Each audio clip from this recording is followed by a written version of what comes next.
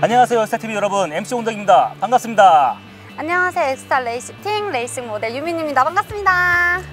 이곳 혹시 여기가 어딘지 알고 계세요? 아, 그럼요. 여기 금호타이어에 온갖 노하우들이 담겨져 있는 그 연구소 아닙니까? 어, 정확히 알고 계세요.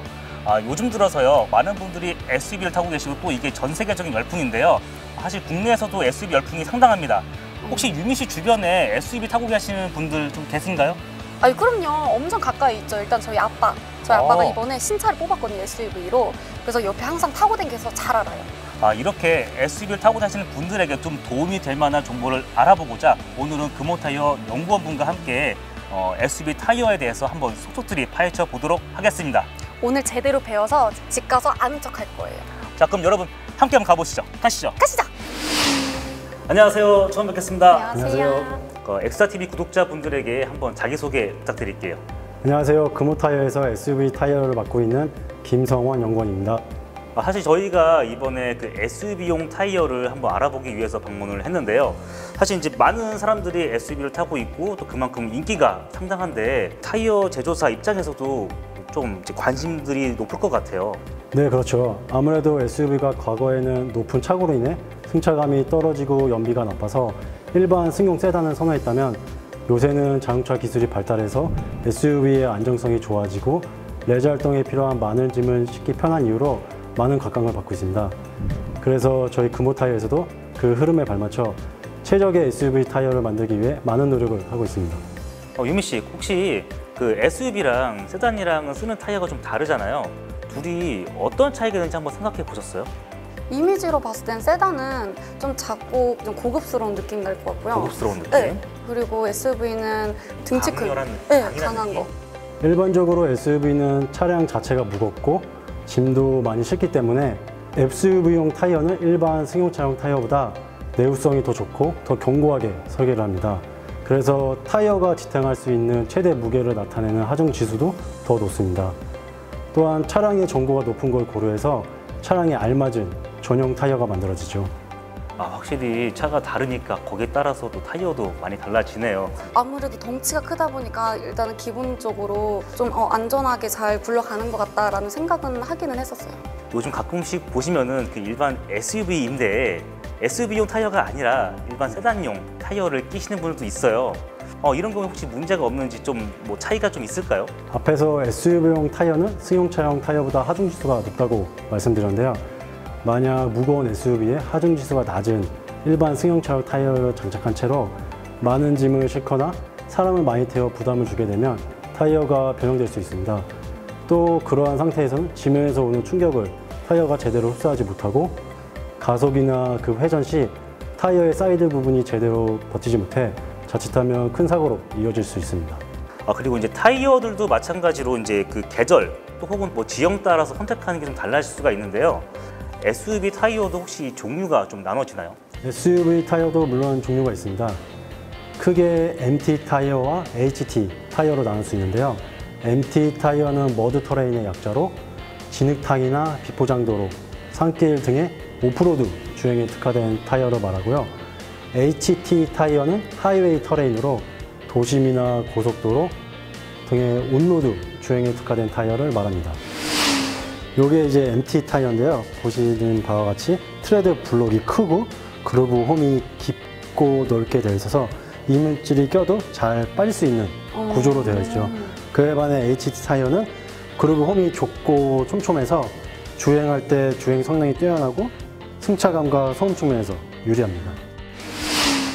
아, 그러면 이제 오프로드 다니시는 분들, 뭐 특히 험로 주행 다니시는 분들은 MT 타이어를 쓰면 될 것 같고 편안한 승차감을 원하시는 분들, 뭐 출퇴근 위주라고 한다면 아까 말씀하신 HT 타이어를 사용을 하면 괜찮겠네요. 네, 맞습니다. 유민 씨는 가끔 산길은 잘 안 가시죠? 어, 산도 싫어하고 등산도 싫어하고 산에 관련된 거.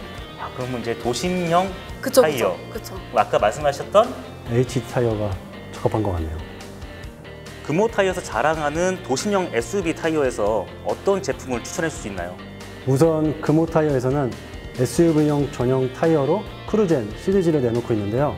균형 잡힌 성능과 comfort한 성능에 초점을 맞춘 크루젠 프리미엄 제품과 뛰어난 고속주행 안전성과 핸들링 및 제동 성능에 초점을 맞춰 고성능 SUV 차량에 적합한 크루젠 HP 91 그리고 이 두 제품의 성능을 적절히 양립시킨 크루젠 HP 71이 있습니다. 만약 sporty한 driving과 편안하면서 안락한 주행 감성을 동시에 즐기고 싶은 분들은 도심형 SUV인 크루젠 HP 71을 추천합니다. 아, 아버님한테 HP 71을 선택하라고 하시면 딱 될 것 같아요. 그거 계속 외우고 있으려고 네, 지금 HP 생각 71. 중이에요. 네. 혹시 이제 HP 71의 기능이나 특징에 대해서 조금 더 자세하게 설명해 주실 수 있나요? HP 71은 SUV 타이어 중에 가장 최근에 개발된 만큼 첨단 기술과 프리미엄 소재를 적용하는데요. 먼저 도심형 SUV 타이어답게 저소음 패턴 설계와 노이즈 시뮬레이션을 통해 정숙성을 강화했습니다. 그리고 고강성 벨트 패키지와 최적의 벨트 각도로 주행 안정성을 높이는 동시에 균일한 접지압 유도로 마모 성능을 향상시켰습니다. 또한 HP71은 차량 타입별 최적화된 성능을 구현할 수 있도록 설계했는데요. 먼저 도시명 CUV 차량에는 패턴 가변 피치 적용으로 저소음 성능을 강화시켰고 고성능 고화중 SUV 차량에는 shoulder 블럭에 3D sipe를 적용하여 핸들링 및 제동 성능을 강화시켰습니다. 그 타이어는 운전자의 그 안전성과 직결되어 있잖아요. 그럼 더 크고 무거운 SUV 타이어로서 크루젠 HP 71은 안전성 측면에서도 괜찮을까요? 물론 안전적인 측면에도 신경을 많이 썼습니다. 먼저 국내 사계절인 특성을 고려하여 저온 특성의 고무를 적용하여 기존 제품 대비 snow 성능을 20% 이상 향상시켰고요. 패턴적으로는 센터 블럭에 지그재그 rib랑 미세 sipe를 적용하여 주행 안정성을 높이는 동시에 수막 형생, 발생 가능성을 낮췄습니다. 최근에 타이어 사이드 디자인을 보고 구매하는 고객들이 많이 늘었는데요. 그래서 저희 HP71은 타이어 사이드 부분에 국내 최초로 프리미엄 홀로그램 기법을 적용하여 고급스러운 외관과 세련된 표면 질감을 구현했는데요. 세계 3대 디자인상으로 꼽히는 레드닷 디자인 어워드에 입상하면서 그 경쟁력을 입증했습니다. 야, 타이어도 디자인을 보고 선택을 하는 그런 시대네요. 그러게요. 네, 확실히 달라요. 아, 그리고 이제 SUV 차량들도 보면 사이즈가 다 제각각인데 아, 금호 타이어 크루젠 HP 71은 뭐 어떤 차량에 좀 추천해 주면 좋을까요? 크루젠 HP71은 16인치부터 20인치까지 총 37규격의 라인업을 갖추고 있는데요. 대표적인 차종으로 말씀드리면 현대 투싼이나 기아 스포티지, 어, 폭스바겐의 티구안 같은 컴팩트한 차량부터 모하비나 펠리세이드, 포드 익스플로어 같은 대형 20인치까지 대응이 가능합니다. 저희 아빠가 그 쌍용의 렉스턴 SUV를 이번에 신차를 뽑아가지고 혹시 저희 아빠한테도 이 부분을 추천을 하고 싶은데 방금 말씀해 주셨던 HP 71은 저희 아빠가 또 사용해도 무관할까요? 네, 쌍용 렉스턴에도 적합한 사이즈를 갖추고 있습니다. 그러면 구매는 혹시 어떻게 할 수가 있나요? 금호 타이어의 타이어 전문점인 타이어 프로에 방문하여서 구매 상담을 받으신 후 차량의 특성이나 본인의 주행 습관을 고려하여 구매하시는 것이 좋습니다. 자, 지금까지 이제 금호 타이어의 김성원 연구원님과 함께 어, SUV 타이어에 대해서 알아봤는데요. SUV 운전자 분들에서 어, 만약에 이제 타이어를 좀 새롭게 바꿔야겠다라고 하시는 분들에게 좀 큰 도움이 되었기를 바랍니다. 타이어와 자동차에 대해서 조금 더 유익하고 재밌는 정보를 원하신다면 엑스타TV 구독, 좋아요, 그리고 알람 설정까지 부탁드릴게요. 자, 그럼 저희는 다음 시간에 다시 만날게요. 여러분, 안녕! 안녕!